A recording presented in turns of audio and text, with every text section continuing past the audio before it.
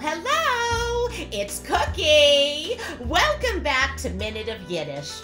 Today's word is one you've probably heard before because it's been folded into the English language. The word is shmata. The shmata is a rag. So if you want your family to help you get ready for company, you look at them and you say, pick up a shmata and start cleaning. Shmata is often used to describe a raggedy piece of clothing, something shabby, a shabby garment. Please tell me you're not wearing that shmata to dinner. It's got yellow stains in the armpits. If somebody tells you you're wearing a shmata, you should probably be insulted. Oh, Sid, please tell me you're not going to shul in that shmata for the high holidays. You look like a hobo. We have an aliyah.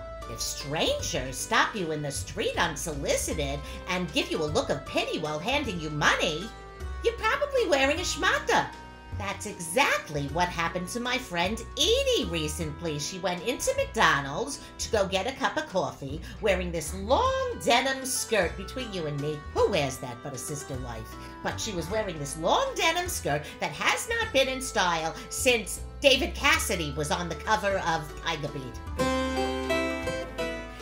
A total stranger came up to her and asked her if they could buy her an Egg McMuffin. And this is why you never wear a schmata out in public. She thinks she has such fabulous taste. I don't know how to tell her that that schmata needs to go to Goodwill. Here's a fashion trend I don't get. For some time now, people have been buying jeans and jean shorts with the holes already in them, already shredded. In my day, that was a schmata. Now, the oh. word schmata could be something nice that the owner just doesn't want to wear. How do you expect me to wear that schmata to the wedding? I wore it to the last two affairs we've been to. Everyone's seen it already. The word schmata can also be used to downplay an outfit. This schmata? I got it at Loehmann's two years ago, half price. Now, sometimes the word schmata can be used to describe a person. Maybe you're feeling tired or worn out after a long day of cleaning, or better yet, of shopping. So you might say, I feel like a schmata. Maybe you feel you're being taken advantage of, that someone is treating you like a doormat, someone they can just wipe their feet on. You might say, I feel like I'm being treated like a schmata. So a final thought, it's always better to wear a schmata than to be one.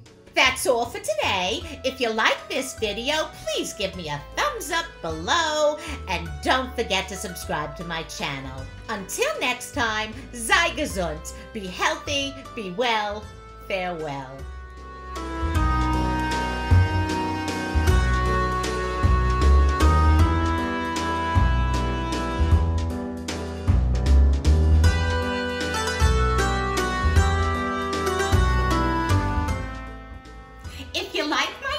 T-shirt. I got it at this company called Schmattees. And they have a wonderful website, shopschmattees.com. They're also available on Amazon. And I have a wish list like you wouldn't believe. I want the one that says resting kvetch face. And I want the one that says if you don't have anything nice to say, say it in Yiddish. Oh, there's a whole bunch of them. They're just wonderful. This is not a sponsored videos, but Schmattees, I love you guys.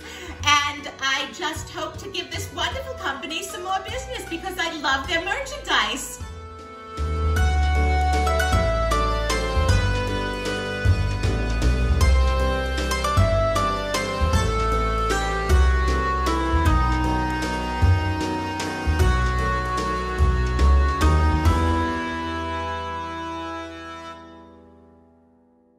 They have the best Jewish t-shirts.